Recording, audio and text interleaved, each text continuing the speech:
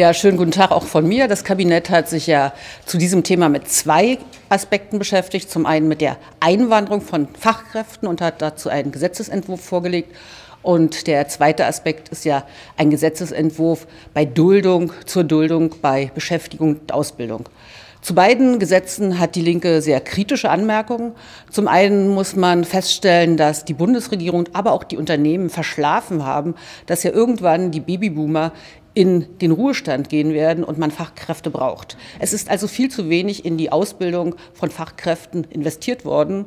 Und die Vorstellung von Unternehmen, dass man sich Personal so wie bei Amazon bestellen kann und das vom einen Tag zum anderen da ist, das wird nicht funktionieren und das ist auch gut so. Wir als Linke fordern, dass ab sofort viel mehr investiert wird in Beschäftigung, in Ausbildung und dass Menschen auch beim lebenslangen Lernen, was ja immer gefordert wird, wirkliche Unterstützung bekommen.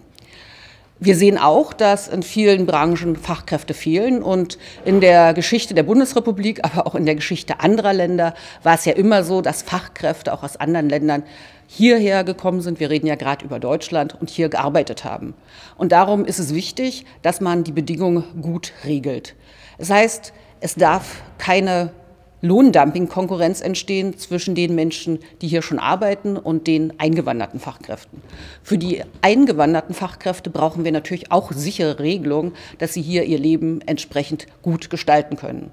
Und wir müssen natürlich auch an die Länder denken, die diese Fachkräfte ausgebildet haben.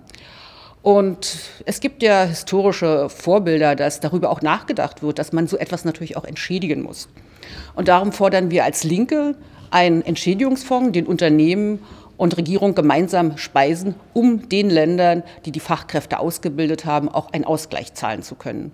Ich erinnere daran, dass 1946 der US-Senator Fulbright gesagt hat, wie kann das sein, dass man mit Waffenexport Geld verdienen kann und dann noch Länder, die ihre qualifizierten Fachkräfte an uns, also an die USA, schicken. Und seit 1946 gibt es ein großes Stipendienprogramm, das Fulbright-Stipendium, was ja zum Austausch dient und gedacht ist und auch als eine kleine Kompensation und Entschädigung der Entstehung zumindest bedacht wurde. Zum zweiten Punkt, zur Duldung bei Beschäftigung und Ausbildung, also Duldung von abgelehnten Asylbewerbern und Asylbewerberinnen oder überhaupt äh, geflüchteten Menschen. Dazu muss ich Ihnen erst mal kurz berichten, dass ich gestern eine Schulklasse hatte oder eine Klasse von einem Oberstufenzentrum aus meinem Wahlkreis. Und das waren alles junge Männer, die den Beruf des Elektrikers erlernten. Und der eine sagte zu mir, ja, ich habe so viel Spaß bei der Ausbildung und ich habe so gute Zensuren und so gute Ergebnisse. Ich bin jetzt im dritten Ausbildungsjahr und ich weiß immer noch nicht, ob ich hier bleiben kann. Und wenn gefordert wird, dass wir Fachkräfte brauchen und solche Menschen, die auch gute Ergebnisse erzielen, immer noch in Unsicherheit sind, dann ist das, glaube ich, ein falscher Weg. Wenn ich mir jetzt den Gesetzesentwurf zur Duldung bei Beschäftigung und Ausbildung anschaue, dann habe ich den Eindruck, dass die CDU die Hürden so hochgelegt hat, weil sie Angst hat vor der AfD. Es ist im Prinzip ein Verhinderungsgesetz. Sie müssen sich mal vorstellen, wenn Sie zum Beispiel das Pendant eines Bäckers äh, haben wollten, müsste derjenige aus seinem Heimatland ein Abitur vorweisen. Die Forderungen, was die Sprachkenntnisse betrifft, sind sehr hoch und auch die Altersforderung, also Höchstalter 25, ist viel zu niedrig. Viel Arbeit fürs Parlament, um nachzubessern, nachzuarbeiten. Die Linke wird sich mit vielen Vorschlägen daran beteiligen. Vielen Dank. Anknüpfen genau an den letzten Punkt, ist aber doch diese Beschäftigungsduldung für 30 Monate mit anschließender Möglichkeit, einen Aufenthaltstitel zu erwerben, eigentlich ja mehr als das, was die Union wollte. Also ist das für Sie, diese Regelung, äh, würden Sie die nochmal bewerten? Ist das keine gute Lösung oder ist das eine gute Lösung? Also Beschäftigungsduldung, das ist auf alle Fälle eine Verbesserung für die betroffenen Menschen. Aber die Hürden für diese Duldung sind sehr, sehr hoch. Und darum habe ich den Eindruck, dass die CDU, ich kann das nochmal wiederholen, aus Angst vor der AfD eher nach einer Verhinderung strebt.